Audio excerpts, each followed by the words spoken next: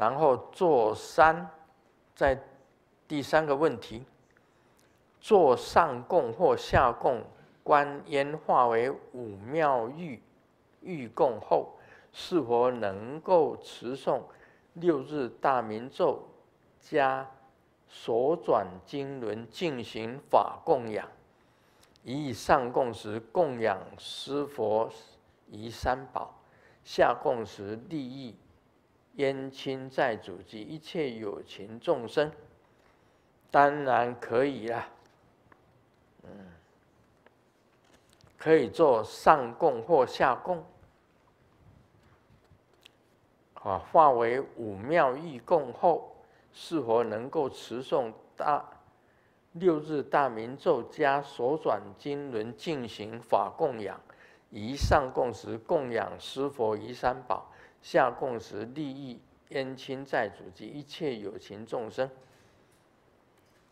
弟子曾请教中内上师关于第二点的疑惑，上师建议行者未修成放生前，下施烟供。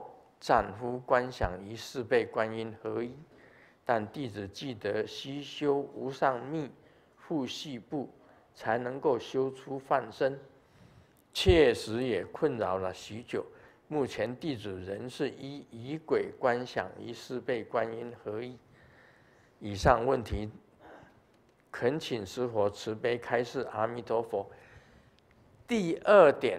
一定要观想跟四倍观音，啊，合一的，一定要，啊，一定要跟观想跟四倍观音合一的，不是修出放生前，这个下施烟供丈夫观想与四倍观音合一，这是不对的。这位上师所讲的是不对的。我告诉你。你要修出放生前，你本尊法啊，本尊法都没有相应，本尊法相应以后，你才修放生。放生很难修的啊，向师尊修放生，很多人都可以感应到师尊，几乎呢。半一半是真实的，一半是稀饭的。他可以感觉到这样子。师尊去的时候，去到那个地方的时候啊，不是完全是幻，他有真实感会出来的，会有真实的，会出现的，会让你有真实感的。有真实的感觉，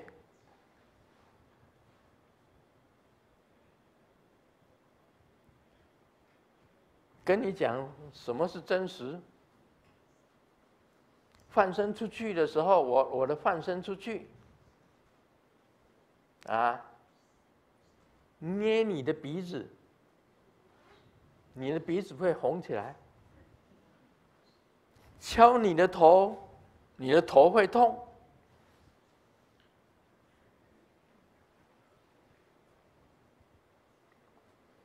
啊，捏你的皮肤啊，这样子捏啊，哎，乌青啊，乌青呐，乌青呐，那是放生。你要修到这样子，而且放生不是一个哦，我告诉你哦，我在全世界，全世界哪一个国家都有放生的，放生很多的会出现的。你在睡觉，我会咬你，咬你的床，叫你起床。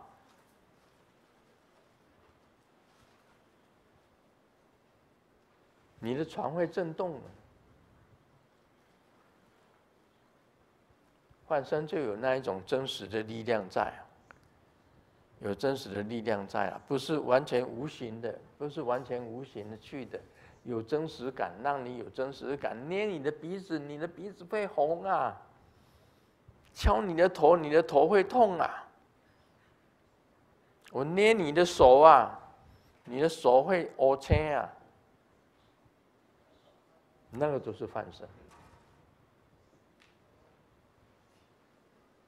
你要修出放生呐，很难的。